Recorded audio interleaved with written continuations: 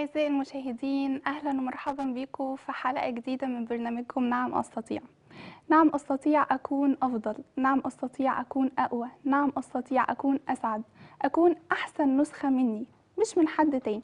لأن لازم تكون أنت أو أنتي واثقين جدا إن أنتوا أحسن حاجة حصلت في الكون ده كله.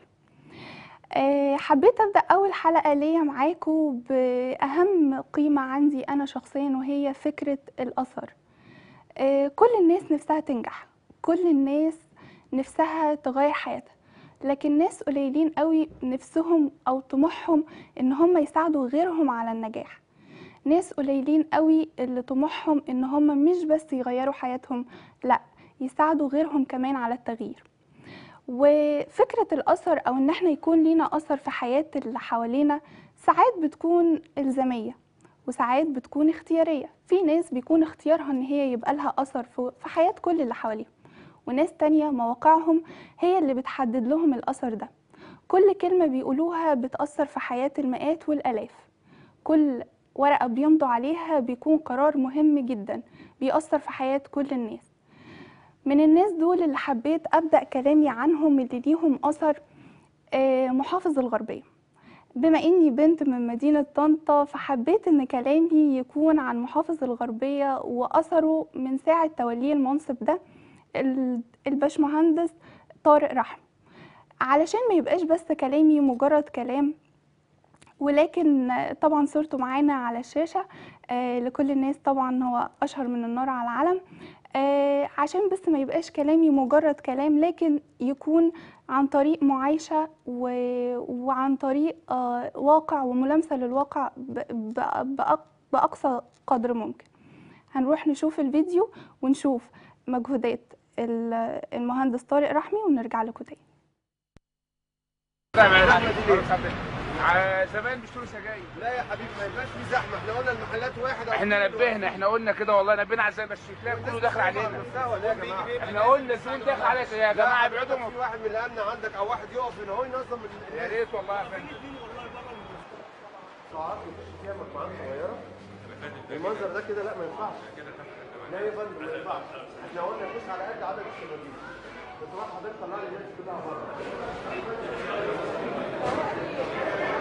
الشبابيك اللي عند حضرتك عدد أفراد. يخرج واحد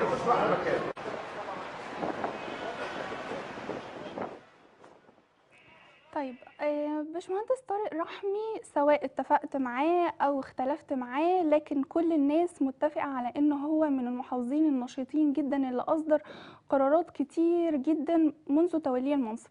يعني عندنا قرارات تقريبا أشرف بنفسه على 17 قرار آه، لإزالة ال ال الأبنية المخالفة واسترجاع الأراضي لل- للمحافظة آه، غير قرارات النظافة والقمامة وكل ال- المجهودات اللي هو قام بيها. طبعا كلنا بنشيد بكل ده وبنقدره جدا. لكن آه، هل إحنا مشكلتنا في مصر في القرارات ولا مشكلتنا في متابعتها؟ هل مشكلتنا في اتخاذ القرار ولا مشكلتنا في تعميمه؟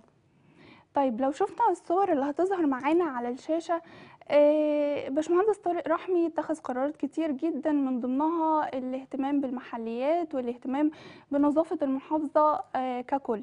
تمام؟ آه، تقريبا في خلال أقل من أسبوع تمت عملية إزالة لأكتر من 10 أو 12 طن من القمام. لكن بعد الأسبوع ده دي كانت النتيجة. هل المشكلة في إن أنا آخد القرار ولا أنا لازم أتابع القرار؟ طيب خدنا قرار تاني بإن إحنا نشيل الأسواق العشوائية تمام؟ علشان نقدر نحافظ على صحتنا ونقدر نواجه آه، مشكلة الكورونا بأقصى قدر ممكن بالنسبة لنا. لكن برضو ظهرت الأسواق تاني بعد اتخاذ القرار وبعد إزالتها بيومين أو ثلاثة بالكتير. طيب آه نفهم من كده إن إحنا بنناشد سيادة المحافظ. اولا إحنا بنشيد بكل المجهودات اللي بتتم من المحافظة لكن لما يكون عندنا مشاكل عبارة المشكلة عبارة عن مشكلة يومية مش ظاهرة فأنا ما ينفعش أحط لها حل مؤقت. لازم أحط لها حلول جذرية. هنتكلم عن شخصية تانية من الشخصيات اللي كان التأثير بالنسبة لها مش تأثير إجباري. التأثير بالنسبة لها كان اختياري. شخصية واجهت كتير جدا. شاب زيه زي آلاف الشباب زي زي حضرتك وزي آلاف الشباب في مصر.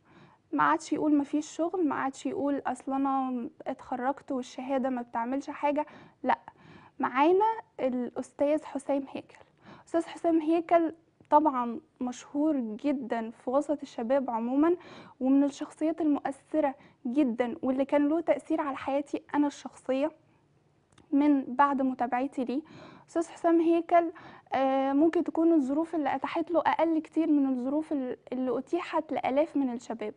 اولا هو تعليم فني آه، ثانيا اشتغل شغلانات كتيرة جدا ويتر في مطعم سايس في جراج آه، اشتغل إن هو بيرتدي آه، زي كاستوم في أعياد الميلاد وفي الحفلات وكل ده تمام؟ لكن بعد كل ده وبعد كل الظروف اللي أنا بحكي لحضراتكم عليها تعالوا نشوف أستاذ حسام هيكل دلوقتي بقى إيه. شغل كويس محتاج إيه عشان أجيب فلوس كتير؟ لما تقعد تعمل مع نفسك الحاجات ديت وتبتدي تتأقلم على العيشة الجديدة ديت وتضحي بوجودك مع أصحابك ده هيديك فرصة إن أنت تبقى موديل بالنسبة لهم.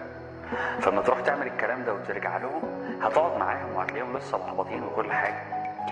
بس هيبصوا ليك إن أنت شخص كنت زيهم يمكن أسوأ كمان. بس عملت حاجة وقدرت تعمل حاجة. بعض ونشيرها مع بعض ونعمل حاجة لكن علق شماعة اسمها ظروف. وانت اعمل إيه؟ الحاجة اللي بتحبها. ضايقك الصدمة. ومعانا حسام هيكل. حديث السوشيال ميديا. حسام هيكل. الحس ده 100 100 صح صح. حسام هيكل مساء الخير وأهلا بيك في حفلة 11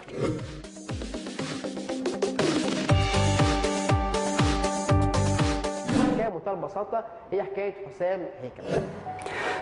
مهم جدا إنك يبقى عندك مكان تعرف تقول فيه رأيك عندك مكان تعرف تحقق فيه الفاليوز بتاعتك. أنا الفاليو رقم واحد في حياتي هي إن أنا أساعد الناس وإن أنا أقف جنب حد إن أنا أكون عون لحد.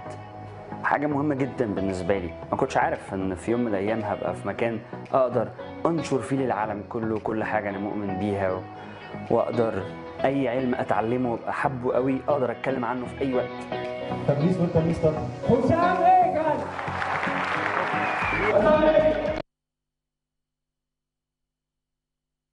أستاذ حسام هيكل هو عبارة عن نموذج ل أنت بتحلم توصل لإيه.